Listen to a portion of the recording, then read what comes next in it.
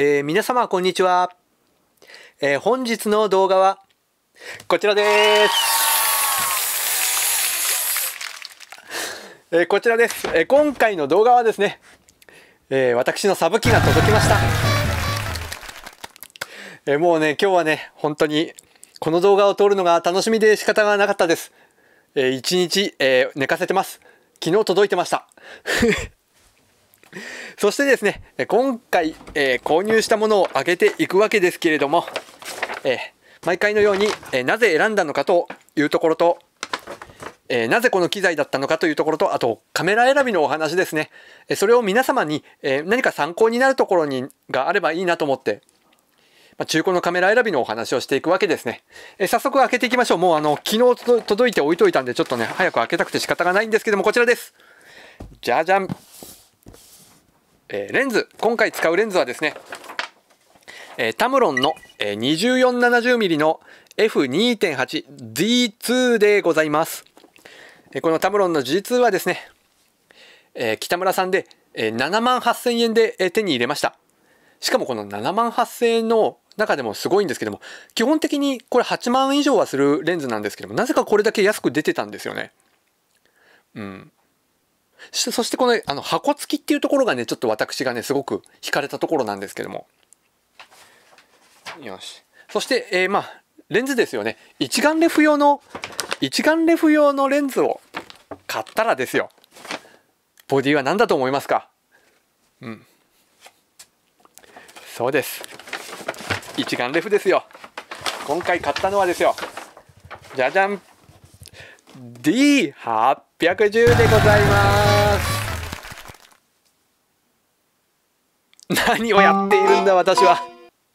何をやっているんだ、はあ、まああの過去の動画をね、えー、見て、えー、いただいていない方のために補足しますと D810 私3回目です。買うの3回目です。じゃあ売るなよって何回他人に突っ込まれそうになるかわからないぐらいですけども。うん。なんででしょうね。なんで売るんでしょうね。うん。もう売らない。えまず中古のカメラの選び方としてですね、えー、これを見ての通りなんですけども箱が潰れもなく傷もなく丁寧な状態で残っているわけですよ。もうこの時点で前のオーナーさんが大事にしていたんだなっていうのがよくわかるんですけれども、えー、まあ、箱を開けていきますけれどもね、えー、取説がついてます。取説がついていて、えー、CD もついてます。そしてケーブルですね、えパソコンとつないだりできますね、えそしてですねえっとストラップ。未開封です。未開封のストラップです。これ一回も開けてないですね。シールを剥がした跡がないです。未開封のストラップとえー、っとチャージャーですね。チャージャーがついてます。そして、えー、ケーブルクリップがついてますね、えー、そして、え、ボディボデーですけれども、えー、うん、あれあったバッテリーが入っているのとあとボディがここにえあるんですけれども。よしと。こちらボディになりますね。えーまあ、なぜ選んだのかっていうところなんですけどもこれもね北村さんで事前に店舗の方に電話しているんですけれどもこれ AB 良品って書いてあったものなんですけどもね。AB 良品っていうと大体ちょっと小傷があったりとかするけど、まあ、状態はいいよっていうものなんですけどもね。えー、見たところその掲載されている写真は、えー、本当に綺麗な状態でした写真で見る限りは。で今届いたんですけども、うん、ほんのちょっと言われれば気づくかなっていうほどの傷がちょんちょんってちょっと擦れた跡が多分カメラバッグかなんかの中で擦れたんでしょうねぐらいの傷がちょんちょんってありますけどもその他はすれも特になくめちゃめちゃ綺麗ですね。そして中古のカメラを選ぶ上でまずこの付属品が揃っているそして箱も綺麗に残っているこの時点でですよ。私はもうあのこのカメラを選んでよかったなって本当に思うんですけれども。そして、えー、掲載されている写真でめちゃめちゃ重要なところ、えー、レンズマウント部分です。これめちゃめちゃ重要です。うん綺麗。うん、ほんの少し小傷がちょんちょんってありますけども。このレンズマウント部分がピカピカであること。これはあの中古のカメラ選びでめちゃめちゃ重要です。ここにこう黒いスレがベッベッベッベッって擦れているようなものだと大体使い古しの結構ショット数の多い、うん、ものですね。基本的にレンズをマウントする時ってこのまあ印があるんですけどもそこにレンズの印と合わせてグッて力を入れて回すんですけどもそれぐらいだったらここって別に傷も入らないわけですよ。まあ、長年使ってるとすれとか傷は入るんですけども、まあ、これだけ綺麗ならばそんなに使った跡がないよっていうぐらいなのでもうこの時点でもすごくあの程度がいいなってわかるんですけどもうん。まあミラーとかもスクリーンも見ても綺麗だしうん。そしてこのグリップ部分ですね。グリップ部分。ここもすごく重要でですね。まあ、長年ねカメラって使ってるとしょうがないんですけどもグリップするのでここすり減ってくるんですよね。グリップ部分が。うん、全くすり減ったり、えー、していることはないですね。すれもないですね。すごく綺麗なグリップです。これあのよくミラーレスカメラなんか見ると分かると思うんですけどもミラーレスカメラって結構あのこのグリップのところがねあのすり減るのが早い個体とかあったりするんですよ。ニコンの Z6 とか Z7 のページとか見ていただくと分かるんですけどもグリップ部分が剥げているあの中古のねえーと、波品って書いてある B 波品って書いてある北村さんの在庫がねすごくたくさんありますその B 波品っていう在庫のあの Z6Z7 はですねもうほぼほぼここすり減ってますで、えー、まあ、マップカメラさんなんか見るとグリップ張り替え済みなんていう Z6 とか Z7 が結構あの出てるんですけどもそんなに早くグリップすり減るかなって思うんですけども、うん、張り替え済みのものが結構ああるんですね。まあそのぐらいですね。普通にこう使ってたらグリップって減るんですけどもこれはすごく綺麗だなっていうところ。そしてレンズマウント部分もピカピカ。傷もほぼない、まあ、そこの底面部もめちゃめちゃ綺麗ですよね。まあ、ここもあのすごく重要なんですけども、まあ、毎回、ま、カメラ選びのお話で、えー、言っている通りですね。カメラって使っているとどうしても周囲に傷とか入ってきちゃうものですけども例えばですね硬いアスファルト。あとは、ま、どっかお出かけした時の地面にほいって置く。私これすごく嫌なんですよ。絶対やらないですこういうことは。えこういうことをする方が要するにこの底面部に傷が入っている個体。私は絶対に地面に置いたりしないので、うん。まあ、傷が入っている個体でもこの底面部に傷が入っているのがすごく嫌です。あとはこの三脚座のネジ。ここがあのちょっと削れてるやつ。要するにこう三脚をつける時にこう見もしないでグッグッグッグってやって。合わない。グッグッグッグ合わないってやってるようなその使い方。カメラを使い使う人の使い方がちょっと見えてしまうので。そういうところもちょっと避けようかなっていうところが自分の中にありますね。うん。まあ、そういうところもあるんですけども、まあ、その辺りを気をつけて選ぶとですね、うん、まあ、中古のいいものに出会えるかなと思うんですけども、ちょっとファインダーも見てみましょうか。あとはファインダー小ゴミとかも書いてなかったんで、うん。ゴミは見えないですね。うん。ファインダーゴミっていう表示もなかったですね、これは。うん。これ備品って言ってもいいぐらい綺麗ですけどもね。うん。AB 良品じゃなくて備品で売ってもいいんじゃないかって思いますけど。さて、これで気になるのは、ショット数ですよね。私、ショット数って中古のカメラ結構気になるんですけれども、ちょっと今の時点で、えちょっと電源入れて撮ってみますね。はい、えー、今、ショット数 .com というサイトでですね、えー、JPEG を読み込ませて、えー、見てみたんですけれども、大当たりでした。ちょっとごめんなさい。テンション上がりすぎて、あの、リアクションとかちょっと何も考えずにぶぶっつけ本番でやってるんですけども、ちょっと大当たりでした。2900回でした。ショット数。2014年に出たカメラですよ。2900回の個体がここにあるんですよ。これはあれですよ。もうあの、先ほど私が要点をあの全部あのお話ししたようにまずはこの綺麗な箱と付属品が全部揃っていると。もうこの時点でカメラを大事にしてたなっていうのはすごくよくわかるんですけども。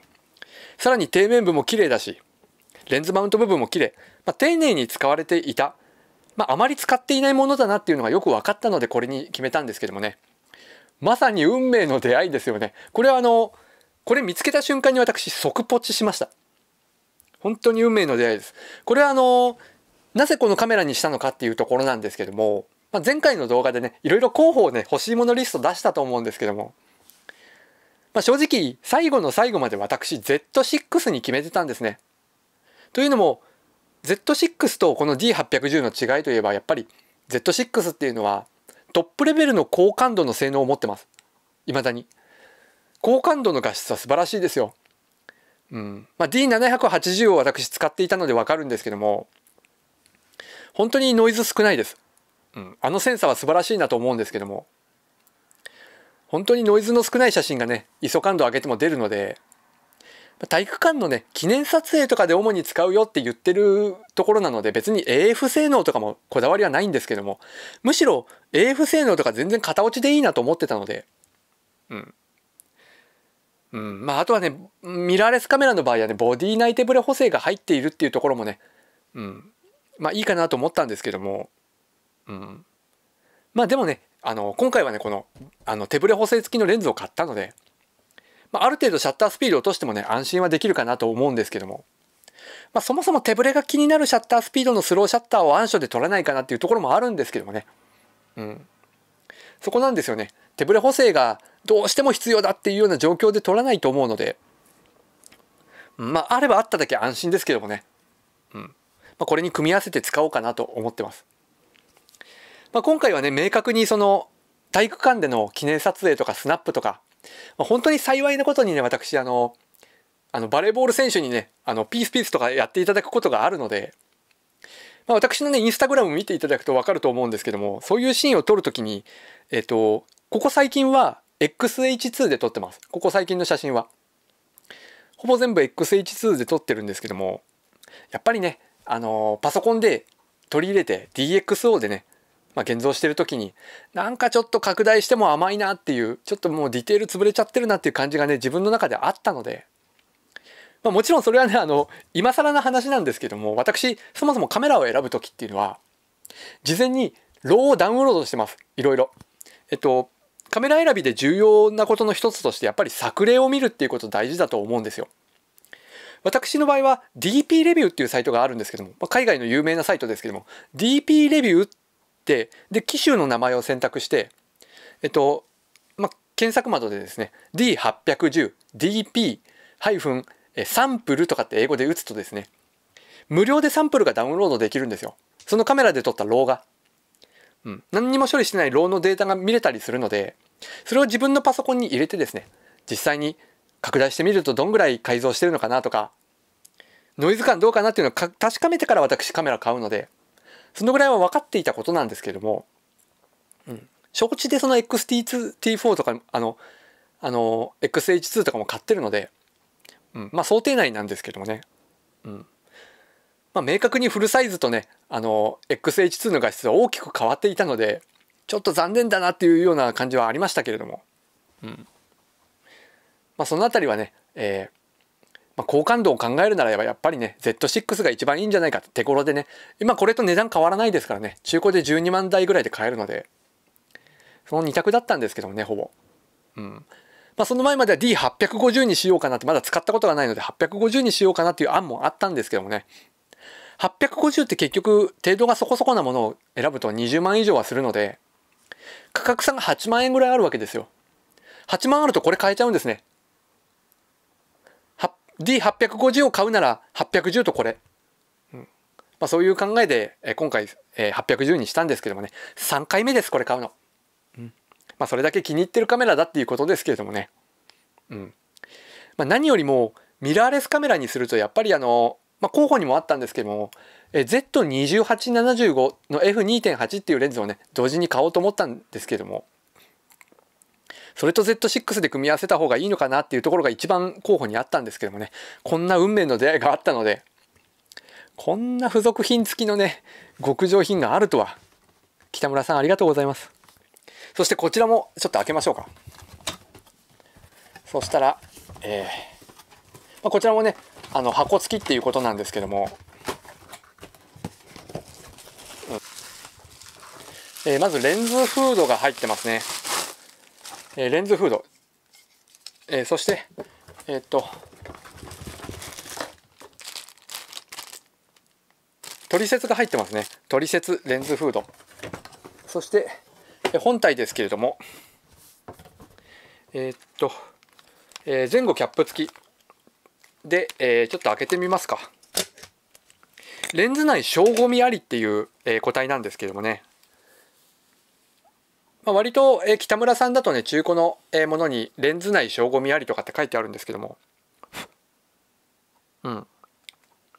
塵の混入がねちっちゃい本当に光の加減によっては見えないよっていう程度の本当に小さい塵がちょんちょんって中に入ってるの見えますけどもね。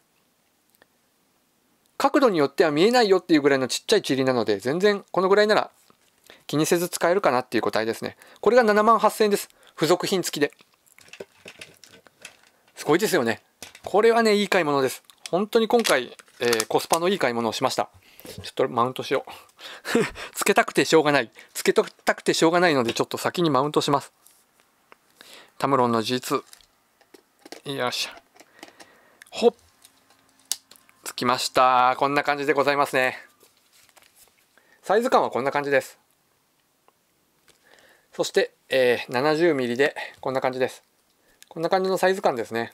標準ズームレンズです。まあでも割と重いですねやっぱり、えー、F2.8 なので。こんな感じですねサイズ感は。こんな感じ。です。もう雨が降ってなかったら出かけたいんですけどもね。ちょっとここのところ天気崩れてるのでね何とも言えないとこですけども。はあ。しかしこの組み合わせで首から下げておくのはかなりしんどいですけどもね。かなりしんどいですけども。まあこれは自分が選んだ道なので。まあ仕方ないかなとは思いますけどもね。やっぱりミラーレスカメラって小型軽量であることがねすごくいいと思うんですけども、まあ、ただ今回はね本当に運命の出会いがあったっていうところでねこの、えー、個体に決めたわけですけども。なかなか出ないですよ D810 のいい極上の個体なんて。なかなかないので。この辺りはね本当に運命の出会いですよ、えー、皆様も中古のカメラとかレンズを何かお探しでまこうしてねインターネットで検索している時にですね運命の出会いを重視して買うと。えー、というわけで今回は、えー、新しく買ったカメラとレンズをですねウッキウキで回復回復回復じゃない解放解放じゃない 開封して、え、皆様に見てもらう、え自慢する動画でしたと こんな感じで締めたいと思います。まあ、カメラ選びのね、ご参考になればなと思うんですけども、中古のカメラを選ぶポイント、さっきの、えー、ところ、私なりに解説してみましたので、ぜひご参考にしてください。それでは私、え SNS をやってますので、こちらの方にいつも撮ったお写真、え、投稿してます。えー、ぜひ皆様、えいいねとフォローよろしくお願いいたします。こちらの YouTube チャンネル、主にカメラを始めたばかりの方、カメラ選びのお話等をやっていますので、ぜひよろしくお願いいたします。それでは最後までご視聴ありがとうございました。失礼します。